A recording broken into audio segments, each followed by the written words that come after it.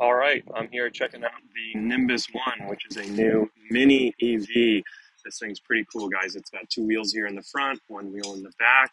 Obviously, it's uh, designed for one passenger, uh, and you can actually fit a small passenger or luggage or store stuff in the back.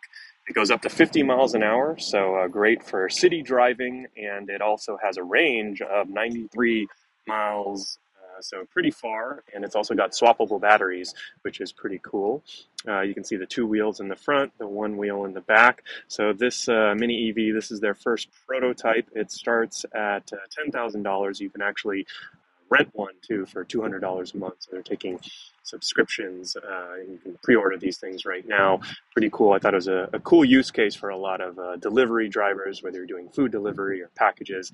A lot easier to get in and out. As you can see, you can kind of park it per- perpendicularly and uh, pretty cool vehicle. So I'm going to go take it for a spin right now.